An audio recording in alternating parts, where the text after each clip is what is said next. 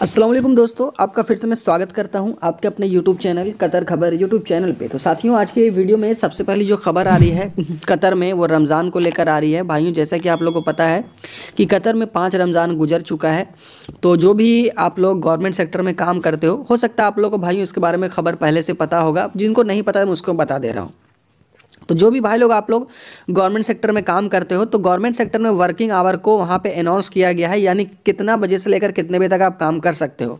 तो साथ ही बता दूँ, गवर्नमेंट सेक्टर में चार से पाँच घंटे ही आपको काम करना है, चाहे वो किसी भी सेक्टर में आप काम कर रहे हो। गवर्नमेंट सेक्टर मतलब चाहे वो बैंकिंग सेक्टर हो या फिर कंस्ट्रक्शन सेक्टर हो, जिस भी सेक्टर में दोस्तों आप काम कर रहे हो, चार से पाँच घंटे ही आपको काम करना है। ये मानी मैक्सिमम आपको दो बजे तक ही काम करना है।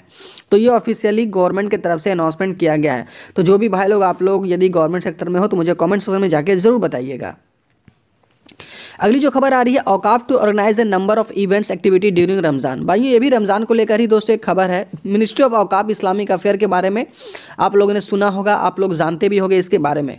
तो ministry of Awqaf Islamic affair के तरफ़ से अनाउंसमेंट किया गया है कि उनके तरफ़ से बहुत सारे इवेंट्स बहुत सारे एक्टिविटीज़ ये ऑर्गेनाइज किया जाएगा कतर में अलग अलग एरियाओं में अलग अलग जगहों में।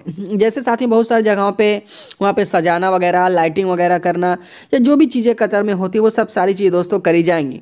तो यदि भाई लोग आप लोग कतर में ईसा नमाज़ के बाद या मगरब के बाद ये सब नज़ारा खूबसूरत देखना चाहते हो तो देख सकते हो बहुत सारी जगहों पर यह सब चीज़ें आपको देखने को मिल जाएगी।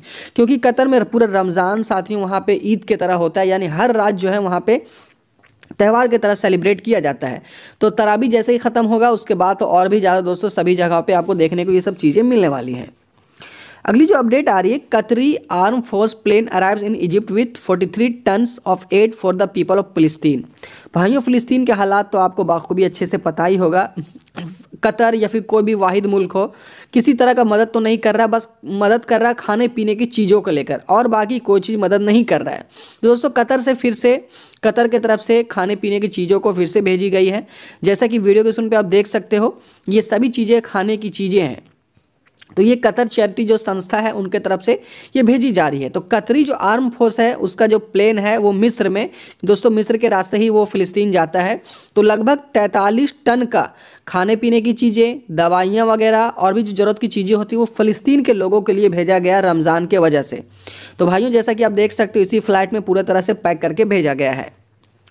अगली जो खबर आ रही है, Qatar announce provision of USD 25 million to U N R A W to support needs of Palestine people दोस्तों, ये भी खबर फिलिस्तीन को लेकर ही आ रही है। कतर की तरफ़ से अनाउंसमेंट किया गया है कि लगभग 25 मिलियन यूएस डॉलर जो है U N R A W को भेजेगा ताकि वो सपोर्ट कर सके फिलिस्तीन के लोगों के लिए। यानी दोस्तों फिलिस्तीन के मदद के लिए कतर की तरफ़ से फिर से हाथ बढ़ाया गया है और 25 मिलियन यूएस डॉलर ये मदद जो है वो फिलिस्तीन को भेजी जाएँगी। तो भाइयों, ये कुछ खबरें थी, अपडेट्स थी जो कि कतर से आ रही थी। मैंने आपको बता दिया, यदि कोई भी मन में आपके सवाल हो, कोई जानकारी चाहते हो तो मुझे कमेंट्स में कमेंट करके पूछ सकते हो। आशा करता हूँ वीडियो आपको अच्छी लगी हो। मिलते साथ ही नेक्स्ट वीडियो पर जय हिंद एंड टेक केयर।